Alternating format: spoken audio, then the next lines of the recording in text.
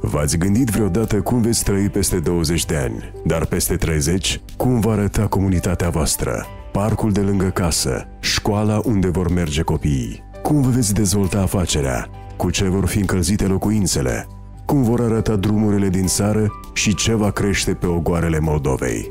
Dezvoltarea durabilă înseamnă schimbarea modului de gândire despre viitor și găsirea unor soluții viabile pentru ca oamenii să trăiască în bunăstare și prosperitate, într-un mediu curat multe generații înainte.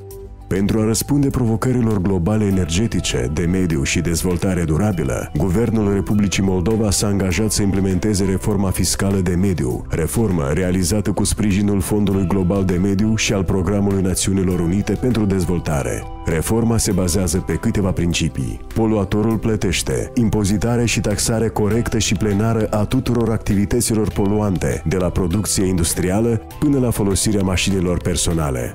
Utilizatorul plătește stabilirea unor tarife adecvate pentru folosirea resurselor naturale, inclusiv a apei, aerului și solului, și a surselor de energie fosile, cum este cărbunele sau gazul natural, prevenirea și controlul poluării, obligația autorităților administrației publice centrale și locale de a preveni degradarea mediului, de a-l proteja și păstra pentru generațiile viitoare, planificarea și bugetarea durabilă la nivel local și central, care să acopere atât necesitățile imediate legate de dezvoltarea comunităților, cât și obiectivele de dezvoltare prietenoasă mediului de termen lung și încurajarea inovațiilor ecotehnologice în toate domeniile vieții și economiei, inclusiv în agricultură, sectorul energetic, construcții, dar și în instituțiile publice, școli, spitale și locuințe. Un trai durabil pornește de la o gândire ecologică pe termen lung, iar folosirea rațională și economă a energiei și a resurselor naturale stă la baza gândirii durabile. Un instrument eficient în acest sens este stabilirea unor tarife adecvate pentru resursele consumate. Majoritatea tarifelor ar putea supăra consumatorii, dar ele sunt necesare pentru acoperirea cheltuielilor de producție a resurselor consumate și, mai important, pentru încurajarea schimbării comportamentului de consum. Lumea modernă astăzi evoluează după principiile dezvoltării durabile. De aceea, în contextul la Uh, evoluțiile de ultimă oră pe care noi le vrem ca să se conformeze standardelor europene, toate sectoarele economiei naționale trebuie să fie bazate pe uh, principiile dezvoltării durabile, fie agricultură, fie silvicultură, fie transport. La fel, uh, nu putem evita un subiect de o importanță majoră pentru Republica Moldova, comportamentul oamenilor.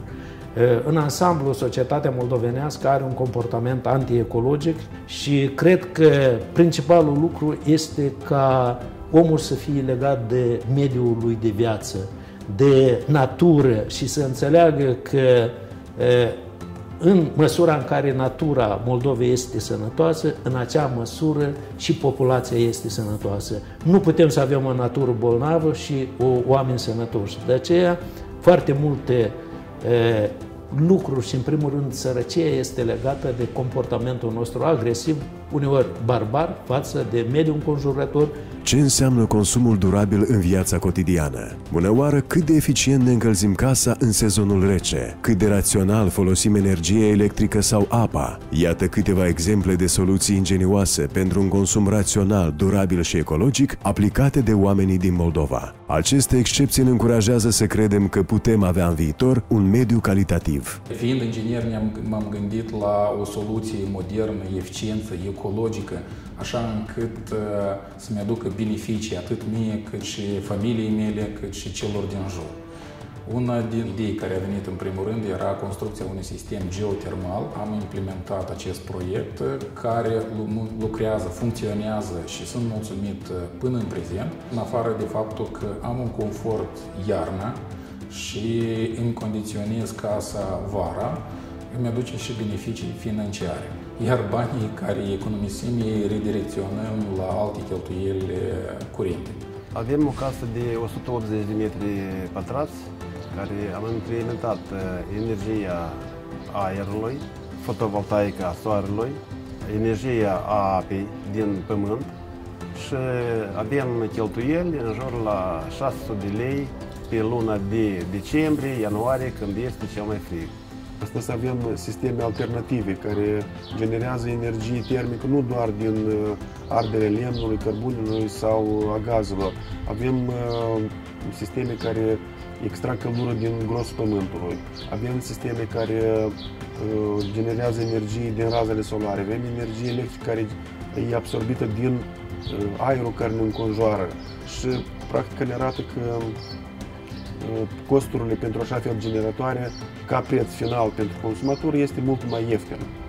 Trebuie despre asta să știți, trebuie să apelați la așa fel de tehnologii și să economisiți bugetul familiei. Poluarea aerului este o altă problemă ce afectează toți locuitorii țării și pentru care trebuie identificate soluții durabile. Cu toții respirăm zilnic același aer poluat. În timp ce statul încă pregătește strategii de redresare a situației în domeniu și control efectiv al poluării industriale și casnice, oamenii pot contribui la reducerea emisiilor toxice cu forțe proprii. De exemplu, optând pentru o mașină cu consum mic de combustibil sau una ecologică. Am ales acest autoturism din cauza că este ecologică, zero emisie, economă, este puternică, nu cedează la o mașină de motorizare clasică. Unicul dezavantaj a acestor automobile este faptul că în Moldova nu sunt stații de alimentare. Aș recomanda și altora să-și procure autoturisme electrice din motiv că sunt ecologice, sunt silențioase și sunt economice.